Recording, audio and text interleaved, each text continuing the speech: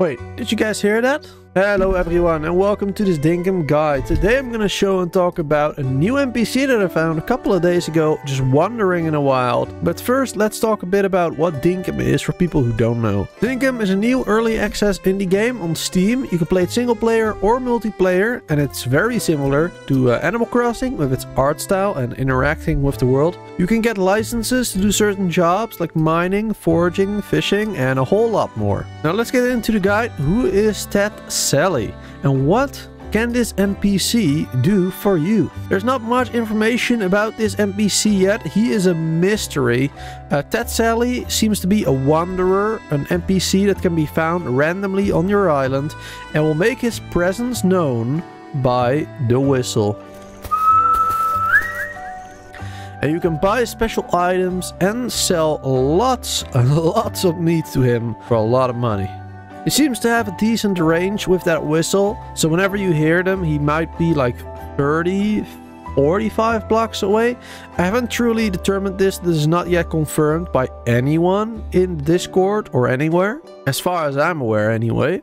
He might be a little bit hard to find, but he should be nearby. All the things you can sell to him are croc meat, drumsticks, flake, and if you don't know, that's from a shark, normal meat, and you can sell them prime meat.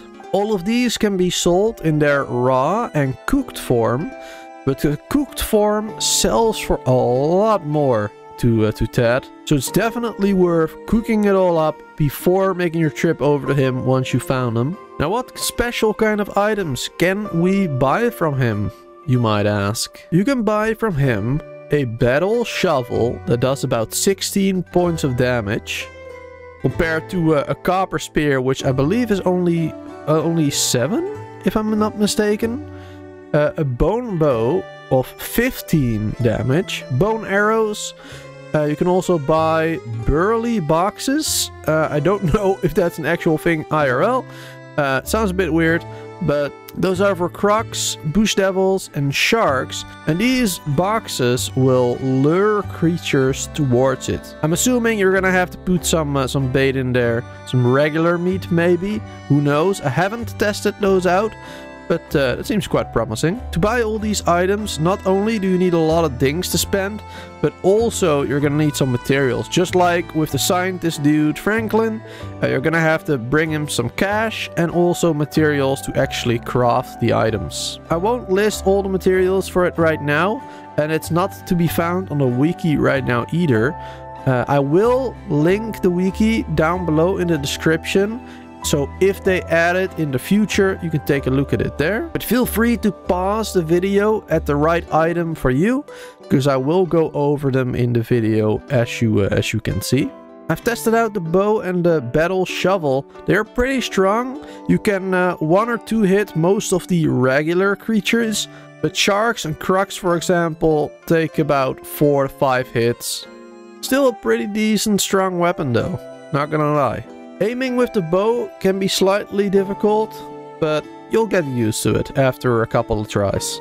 Now I have no good information about his spawning behavior right now, um, or if he's always on the island.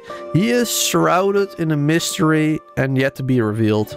So if anyone has some more information about this new NPC, Ted Selly, please do let us all know in the comments down below so that we may, uh, we may share experiences with him and we may uncover the truth about what he is, what he does, how he spawns in, if he's always on the island or how you can best locate him.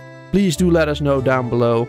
And uh, as I said before, I will link the wiki page for this NPC in the description. Uh, so maybe you'll find some more information there once it has been added. I hope this video was helpful to you all. If it was, then please don't forget to hit that like button and comment down below. And maybe let me know what kind of guide video you would want to see next. Hope you all have a wonderful day and I hope you'll make a whole lot of dinks by selling all that meat.